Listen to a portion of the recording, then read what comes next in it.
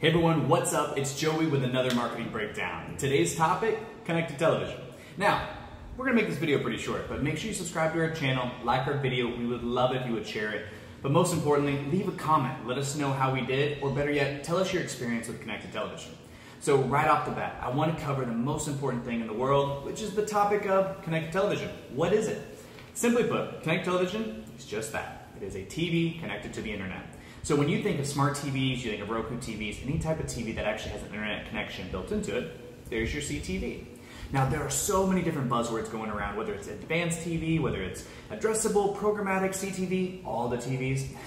The major point is you just gotta know the buzzwords, the sales words, just to get down to the basis. So when we look at advanced TV, for example, that's actually just the umbrella term referring to all the other areas of connected television. Now, CTV, like I said, is really, like I like to look at it as the actual connected device to the internet. Now, both addressable and um, CTV can actually be programmatic. Because remember, and if you have any questions, watch our other videos on what programmatic is. But programmatic advertising is just the automation buying and selling of display ads or video ads. So both addressable and CTV can be programmatic. So remember when someone's talking to you about it and they're like, oh, we do programmatic TV. Well, yeah, okay, but is it CTV? Is it addressable? Well, really, what is it? Because the major point, the big difference between connected television and actual addressable television, it's kind of confusing, addressable TV, is basically looking at it from what traditional used to be. See, traditional, just as the word itself is, the old way of doing it, is more based on the subscription, like, like DirecTV, and obviously you know what traditional is.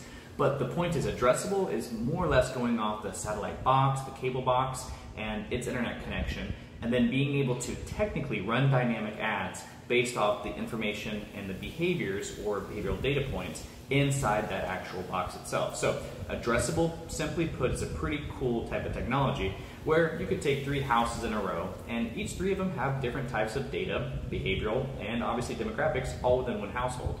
So instead of just targeting a, neighborhood, you would target based off of that, that box, a satellite box, and who is actually watching it and what that consumer looks like.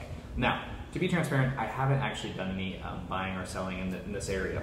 So I can't actually speak to how effective it is, how costly it is, or anything like that. I just am a big researcher and I keep seeing this pop up. But I do know about Connected, and I've actually done some, some buys with that, and a couple of my clients have seen some pretty cool results. So if you're really thinking about diving into it, you absolutely should, for the sole purpose of how many people are cutting the cord. By 2019, we're looking at over 19 million different households technically no cord havers or never haver corders. I don't, I don't know what it is. Point is, about 19 million people will never have actually had any type of corded system in their house, but they will be streaming whether it's through a connected device or whether through its application, such as like an OTT type scenario.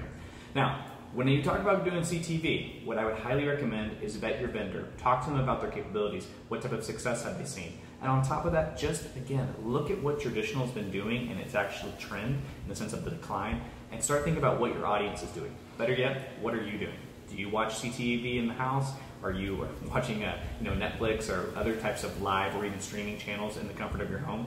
Do you mess around with online videos on your phone? If you do, I'm willing to bet you 99% that your customer does too. So don't overthink it. Give CTV a chance. In fact, just place your technically your traditional bids, split them up. Try CTV against uh, what you're currently doing in the traditional world. So again, CTV, just simply put, it's just connected television. Advanced TV is just a buzzword and addressable, even though I don't know and haven't technically um, seen in, in play, could be an actual cool thing to look into.